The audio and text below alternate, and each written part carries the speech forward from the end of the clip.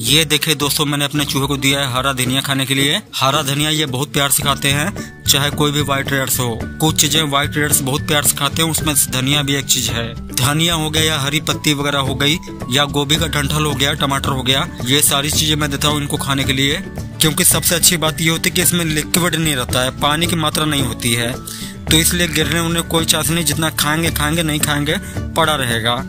बाकी अगर दाल, चावल या कोई और चीज़ मैं दूँगा इनको खाने के लिए, कटोरी या प्लेट में तो उसको ये गिरा देंगे तो गिरने की संभावना रहती है, इसलिए ऐसी ड्राई चीज़ देना उचित रहता है इनके लिए।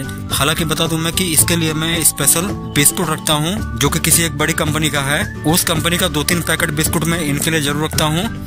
वो बिस्कुट भी मैं इनको बारी बारी देता हूँ, क्योंकि इनको खाने में वो चीज़ तो आप दीजिए ही दीजिए, जो कि हम लोग खाते हैं, जो कि बहुत आसानी से खाया जा सकता है। साथ ही साथ वो भी चीज़ दीजिए, जिसमें दांत का इस्तेमाल हो इनके। जिसमें कि कुतरने वाली चीज़ हो तो कुतर के ये खाएँगे तो इनके दांत के लिए काफ़ी अच्छा रहेगा।